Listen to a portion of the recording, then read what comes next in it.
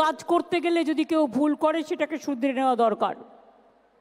কাজ করতে গেলে ভুল তো হয়। রাস্তায় হাঁটতে গেলে আমরা হোঁচট খাই না। হোঁচট খেলে পায়ে একটু লাগে, তারপরে সেটাকে ঠিক করে নিতে হয়। দেখে হাঁটতে হয়।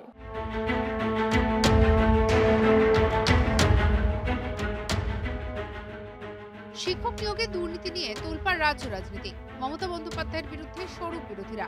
দুর্নীতির অভিযোগে এখন জেলে রয়েছেন প্রাক্তন শিক্ষামন্ত্রী পার্থ চট্টোপাধ্যায়। তবে কোনোভাবেই পার্থ চট্টোপাধ্যায়ের পাশে দাঁড়াননি মমতা। এর মধ্যে এবার শিক্ষক নিয়োগ দুর্নীতি নিয়েও মুখ খোলেন মুখ্যমন্ত্রী। তিনি বলেন, সারা ভারতে প্রাথমিক শিক্ষা বাংলায় প্রথম হয়েছে।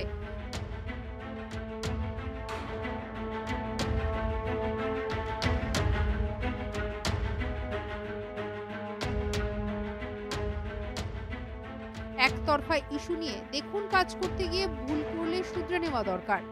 রাস্তায় হাঁটতে গিয়ে আমরা হোঁচট খাই না, হোঁচট খেলে পায়ে লাগে, তারপর দেখে হাঁটতে হয়।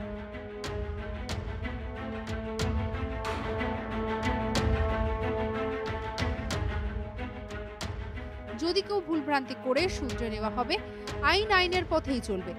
কিছু লোক বাংলাকে ভালোবাসে না, সারাক্ষণ কুৎসা অপপ্রচার করে। সারাক্ষণ তৃণমূলের বিরুদ্ধে কি বলা যায়?